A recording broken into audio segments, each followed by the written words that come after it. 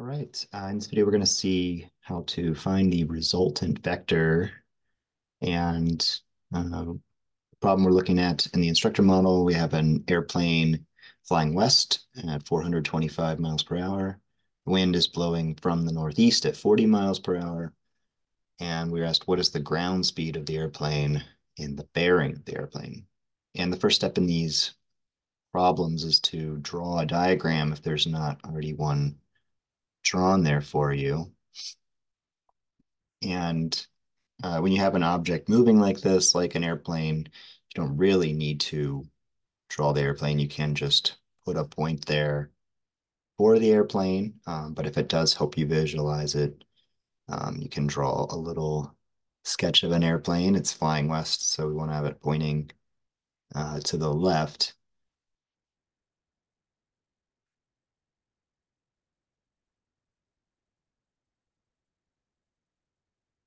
There we go. It's kind of like a shark, but that'll be our airplane.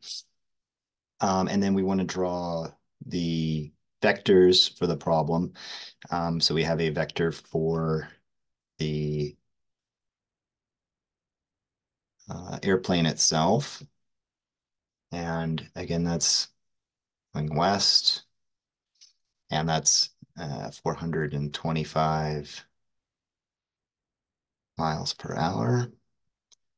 And then we have the wind blowing from the northeast, uh, which means it's blowing to the southwest or down and to the left.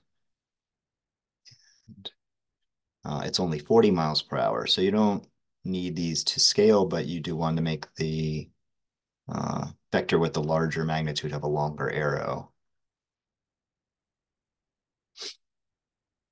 Right? And then it says to identify the standard position angle for each vector. So the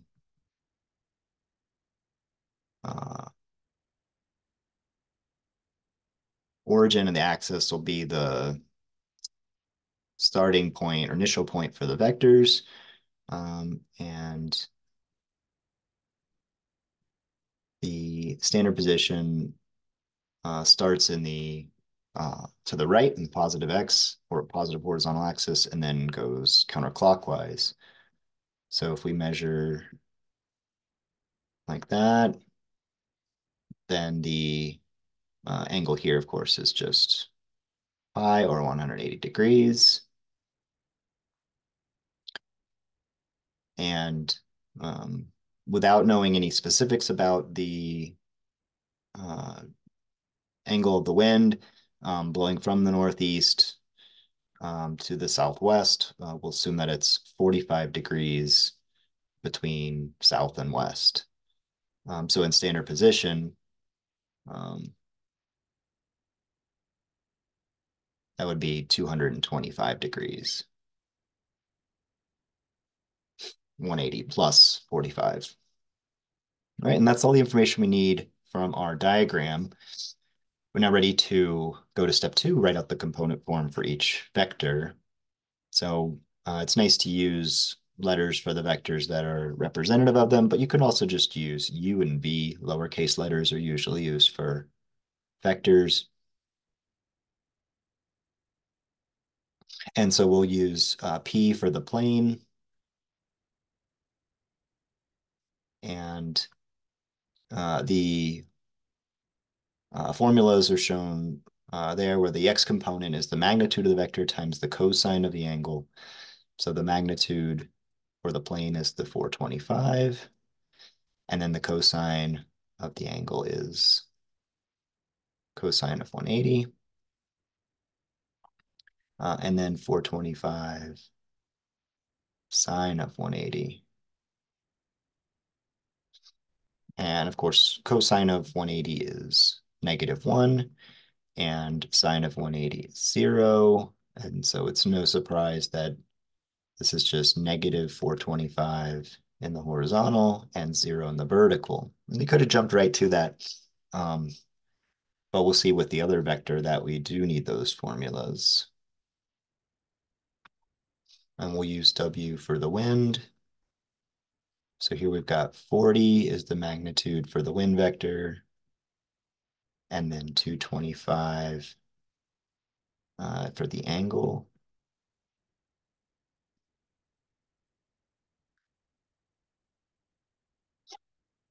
And uh, cosine of 225 is negative 1 over square root of 2. Sine of 225 is also negative 1 over square root of 2. And so these both become negative 40 over root 2.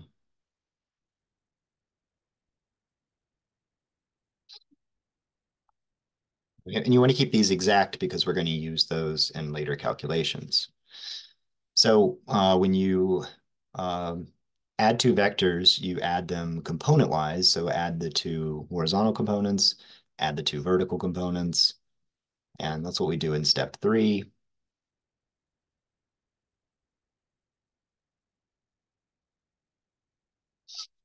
Right, and so we have negative 425 and negative 40 over root 2. And then we have 0 minus negative 40 over root 2, so that's just negative 40 over root 2. Right? And that's our component form of our resultant vector. So for some problems, that's all that you'll need. Um, but we still haven't answered these questions, right? So let's move down to the rest of this.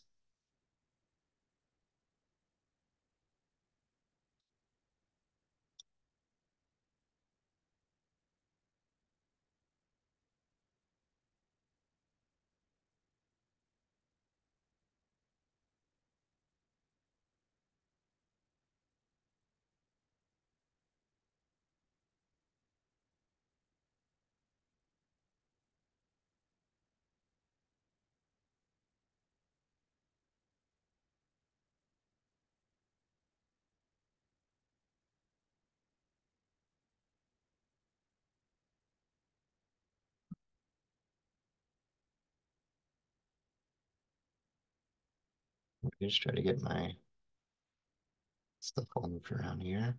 That should work.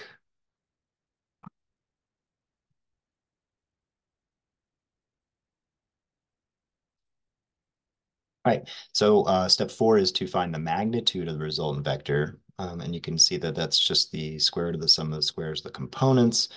And uh, we have those components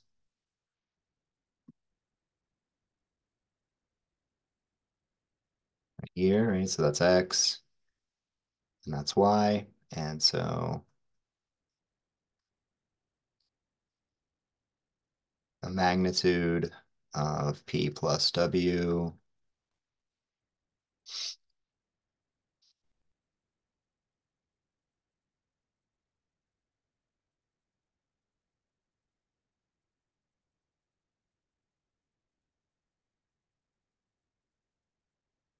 be the square root of the sum of the squares, these components.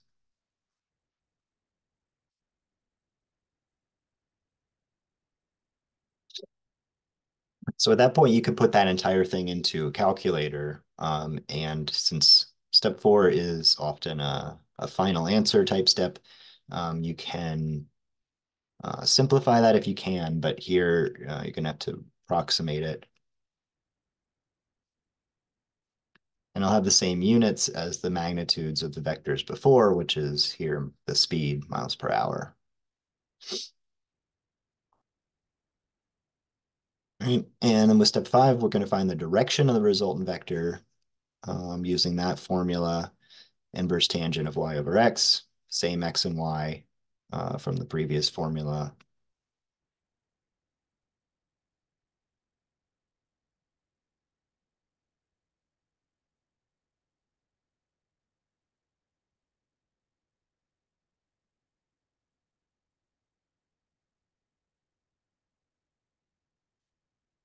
And again, you can put that all in the calculator uh, and you should get about 3.57 degrees.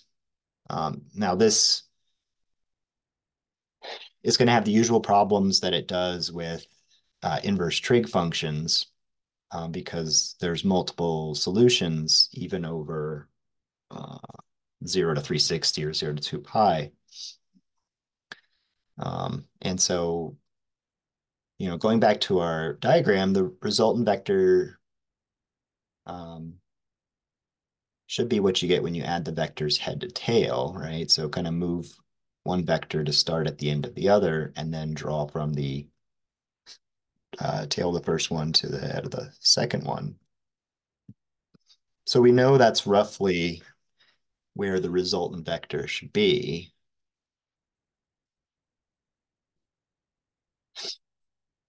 Um, and so that lets you know that it should be uh, bigger than 425, which we did get a number bigger than 425 in step four.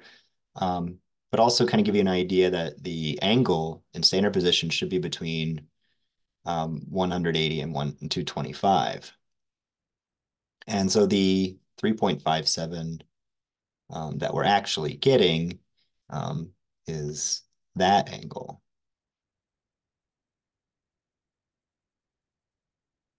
Angle drawn from the horizontal. Um, so to get the full angle, we do need to add 180. Um, and so then that would be 183.57.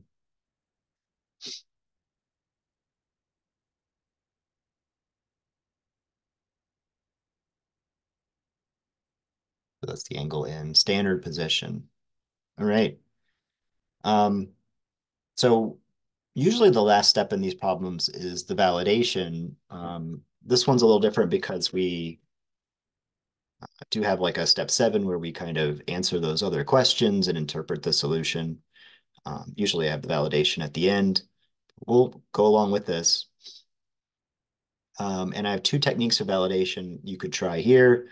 Um, one uses technology and uh, kind of follows along with that drawing we just did. Um, so you could do a hand-drawn version, um, but we'll show how to use GeoGebra for that. Uh, the other one just uses the uh, results of step four and five with the formulas in step three um, to make sure that we get the same results. And so if we just check the uh, horizontal component,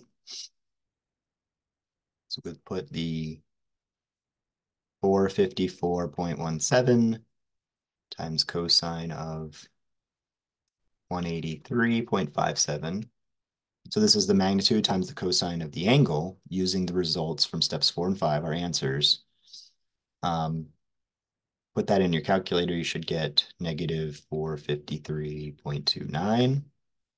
Um, and then if you compare that to uh, the x coordinate that we got in step three, uh, you'll see it's it's the same number as negative 425 minus 40 over root 2. You can do the same thing with the horizontal or the vertical component. Here you'd use the sine of the angle. And that should give you about 28.28. And that's going to be roughly equal to negative 40 over root 2. So that's one technique. Um, again, the other technique will be doing a vector drawing, um, but instead of just a kind of a crude hand-drawn sketch, I want to show you how to use technology. Um, there should be a link to the completed uh,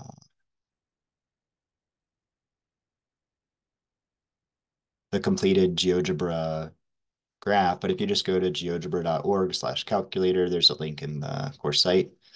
Um, we can show you how to quickly throw this together. So you want to start by creating points, which just use capital letters and then put the order pairs in the normal way. Um, we'll start with the origin. And we'll create a point A at the origin, and then a point B at where the plane vector would point. And then you can see uh,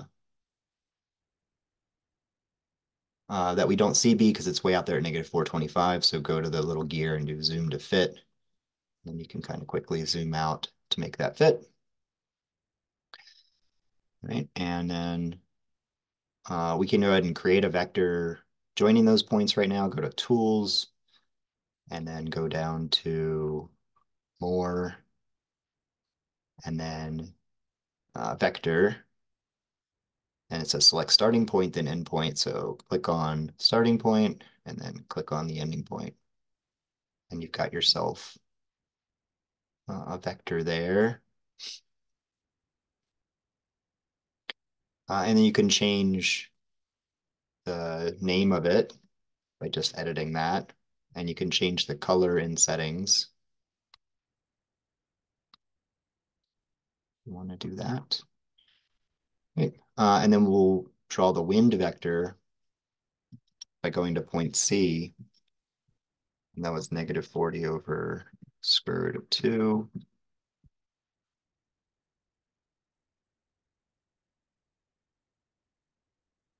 And negative 40 over square root of 2.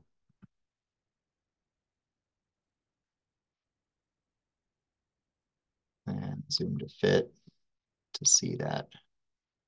Or see.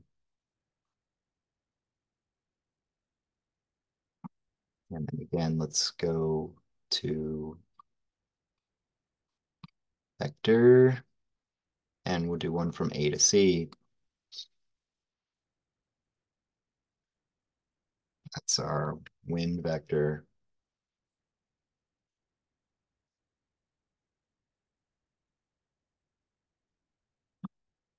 Now you want to move the wind vector to start where the plane vector ends, right? Adding them by drawing them kind of head to tail.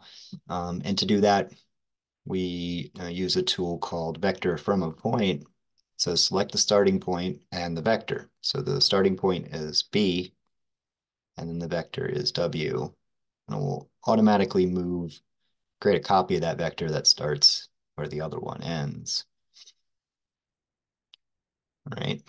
And now what we do is we put in our solution and it should connect point A to point uh, B prime here uh, and kind of complete the, the drawing.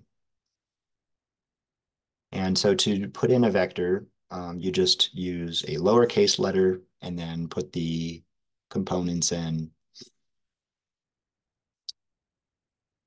uh, parentheses. So it's a lot like a point, but if you use a uppercase letter, capital, um, it'll think it's a point. If you use a lowercase letter, it'll think it's a vector. Um, and we won't let us call it P plus W. Um, so I'm just going to call it uh, V because V hasn't been used yet. Oh, I called it PW in the other one, so I guess that'll work. PW. And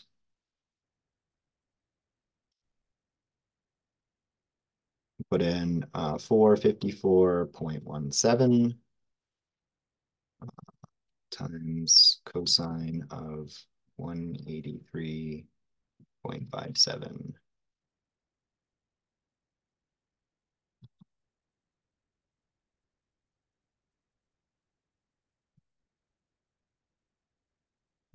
room here. And then 454.17 sine of 183.57.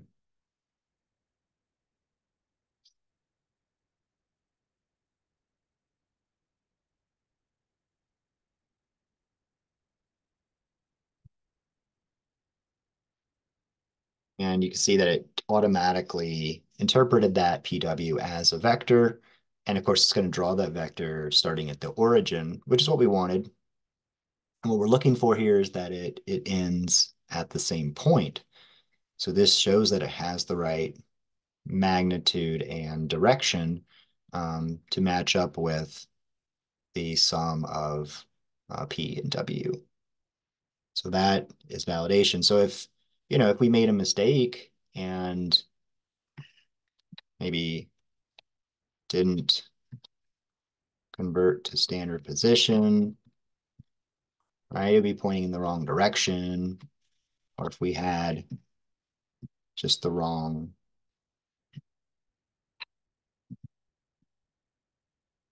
magnitude altogether, um, you could see it wouldn't get to the point. So those would kind of let us know that we made a mistake somewhere and we could find that mistake and correct it before we submitted our work.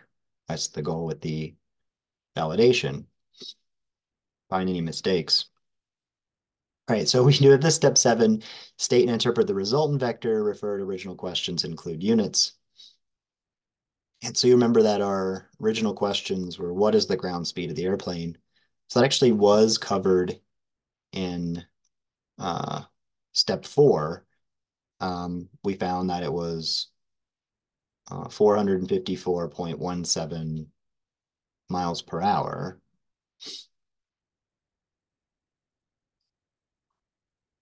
So that would be the speed of the plane measured from the ground.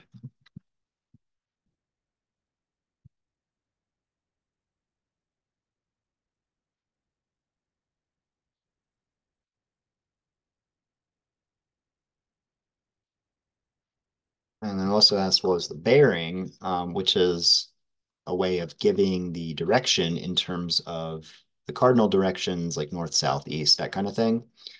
Um, and you remember from our picture that it was uh, 3.57 degrees if you measured from the west. And so we'd say that's 3.75 degrees south of west. All right, that completes it. So you're ready to go on to the uh, fill in the blanks and your turn examples from this methodology. Uh, let me know if you have any questions.